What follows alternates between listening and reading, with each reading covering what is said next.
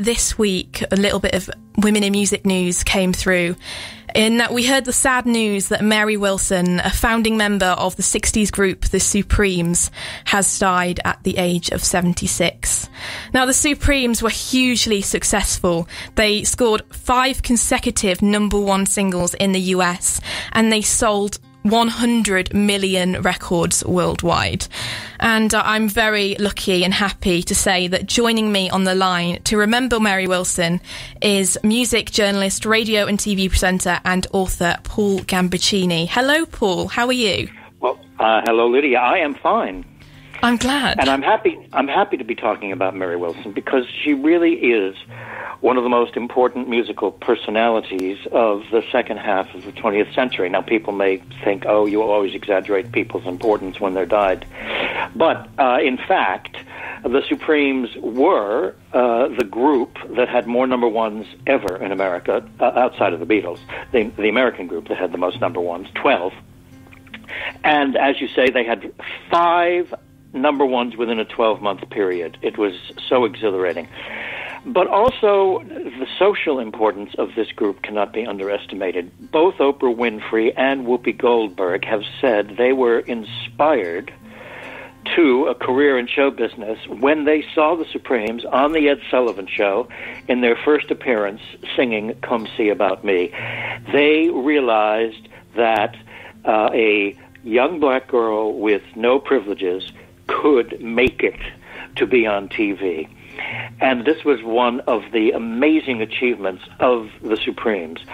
Uh, there had been one major female group in the 30s and 40s before them, the Andrews Sisters. They were a white group. There would be another one towards the end of the century, Destiny's Child.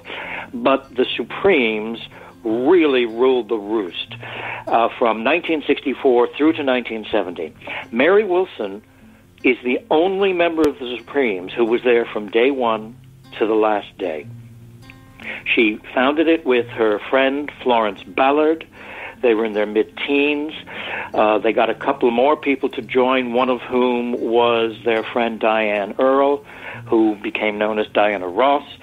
And uh, there was someone called Barbara Martin who quit to be a mother, uh, so she missed out on all the fun, although maybe she had fun being a mother. And uh, then the, the Supremes had eight singles without a hit. They were known around Motown as the No Hit Supremes, but then they were teamed with the writing and production team of Holland Dozier Holland, and they had this fantastic run. They had a mild hit at first when the love light starts shining through his eyes, a medium hit called Run Baby Run, and then they got a song that the Marvelettes had turned down, which was Where Did Our Love Go? Mm-hmm. And that was a huge number one in America, got to number three in Britain. The next one was Baby Love, which was number one in both countries, and so forth. And even when Diana Ross left the group to launch her own successful solo career, Mary stayed with the Supremes as they had more hits like Nathan Jones, Stoned Love, Up the Ladder to the Roof. So she was there until the very end in the late 70s. And what an incredible thing to say that you were the only Supreme who was there for the whole run. Yeah, and to be honest, when I see like musicians that are around in the 60s, 70s, maybe they do it for a little while and then they, they come out of the music industry. Was Mary like that? Did she do actually music all the way through her life or? She did indeed. And uh, she uh, toured here. She, uh, of course, retained a fan base. And uh, th- there were a lot of people who, who wanted to see her, who wanted to see the Supremes. They longed for a reunion of the Diana Ross Supremes, but that was never to be. But uh, Mary was a very uh, popular uh, woman, and uh, she managed to have a comfortable career. She was once asked, well, she was many times asked, Are you jealous of Diana? And she said, Oh, of course not, because she's my friend, and uh, we shared so much together. And and then she'd be asked, "Is she really your friend?" and she would say, "Well, in my heart, she is because we shared a dozen years of life." Mm.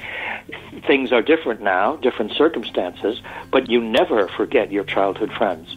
Mm-hmm. Yeah, I, I, I totally see where you're coming from with that. I mean, I think everyone can relate to to to that and always see always being with their childhood friend even if they're not with them you think of them don't you it's um exactly. it's a very special special bond um do you have any memories of being around Mary Wilson? Because I know you've I don't think there's one single music legend I can think of that you haven't interviewed. So is Mary Wilson on that list?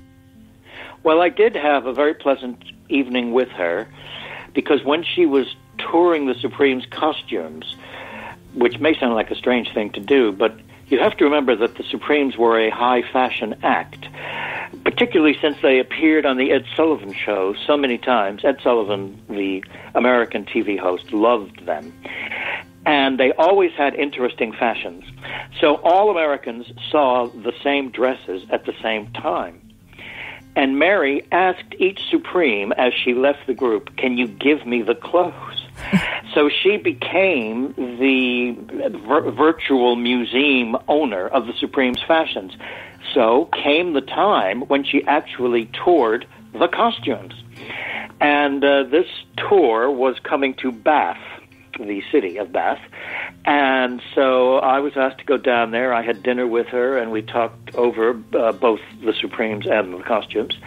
And she walked me through the exhibit, and then I interviewed her on stage to launch the exhibit. So I, I got to know a lot of her perspective on this. And the amazing thing is, of course, the Supremes fashions, which may have been something cobbled together for another episode of Ed Sullivan, have turned out to be period pieces, and in some cases, they're considered high fashion. Yeah, uh, and it's just the. I'm just picturing the Supremes now, and I can just picture those gowns and that incredible 60s fashion. Um, I wish I was around in that time, to be honest, because I think the fashion was better then than it is now. Well, uh, it was wonderful in the 60s. And when the 70s came, I found myself thinking, why are we doing this? Because fashion was going downhill in the 70s. There was a scene in Hair, the musical, where there is a female trio of young black women singing around a microphone and uh, you just assume automatically they're wearing uh, their own dresses. But when they stop singing and they uh, spread out, it turns out they're all inside the same dress. and that was a brilliant stroke. The audience always loved that scene because the Supremes on TV looked like three variations of the same person. It was fantastic. That's great. Um, so, what legacy do you think Mary's going to leave? Well, uh, first and foremost, the musical legacy, because hardly anyone has touched 12 number ones in America. Uh, but also this incredible social importance that they were uh, an inspirational trio for young black girls across the United States and the world. And uh, also, uh, she was the keeper of the flame of the Supremes long after Diana Ross had lost interest in them. And uh, so she is really the Supreme Supreme. She is. I think that's the. I think that's what kind of sums it all up. She, even though maybe Diana Ross was more famous slash more kind of, she was seen as the front runner. I think Mary really held the group together and got them through, didn't she? Oh, exactly. It was heartbreaking for the fans when Florence left. She was having difficulties. Florence had originally sung some leads before they were famous, and so she felt, uh, quite accurately, that Berry Gordy, the head of Motown, was downplaying her in favor of uh, Diana Ross, with whom he had a romance. And uh, she uh, turned to uh, substance abuse and suffered from depression, and as you know, left the group. This is the story which is told, at least in parallel, in Dreamgirls. Hmm. You are probably familiar with the musical Dreamgirls, which mm-hmm. is this uh, parallel story to a group like the Supremes.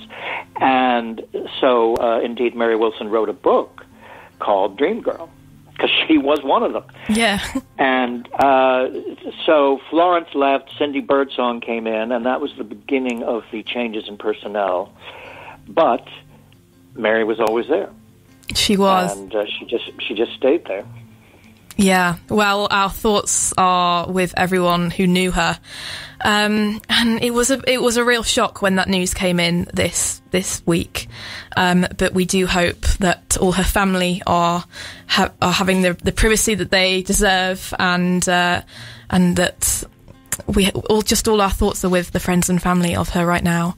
Um, Paul Gambaccini, thank you so much for your time tonight. Um, it's been awesome to chat to you. Um, Lydia, you're welcome. thank you. This has been a crazy bit of radio.